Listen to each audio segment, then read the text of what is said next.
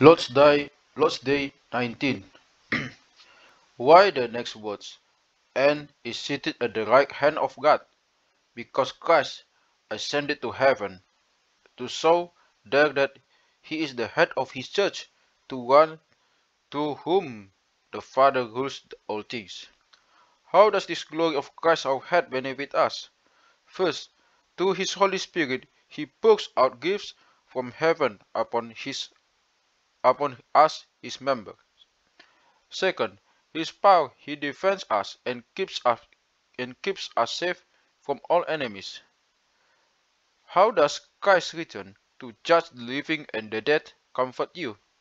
In all distress and persecution, with, with uplifted head, I confidently await the very judge who has already offered himself to, to the judgment of God in my place and remove the whole curse from me. Christ will cast all, he, all his enemies and mine into everlasting condemnation, but will take me and all, and all his chosen ones to himself into the joy and glory of heaven.